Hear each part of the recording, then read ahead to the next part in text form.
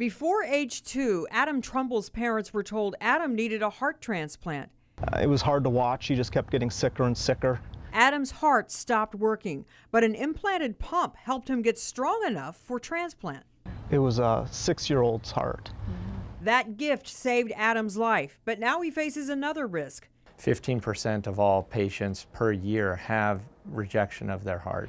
Yearly heart biopsies test for rejection, but it's tough on patients. They bring these kids in, it could be five or six times in the first year post transplant. Um, it's an invasive procedure, not without risk. Now, a new blood test developed by this team could replace biopsies. It will be the kind of test that, that changes the field of transplantation. The test works by looking at the DNA in the blood. The amount of donor DNA in the blood is a clear indicator if or when rejection is beginning. If you pick up rejection early, you can treat it with, um, with a prednisone that can be administered at home. Now seven, Adam takes three days to recover from his annual biopsy. A blood test could keep him in the game. That would be really good. Able to handle whatever gets thrown his way. I'm Marty Salt reporting.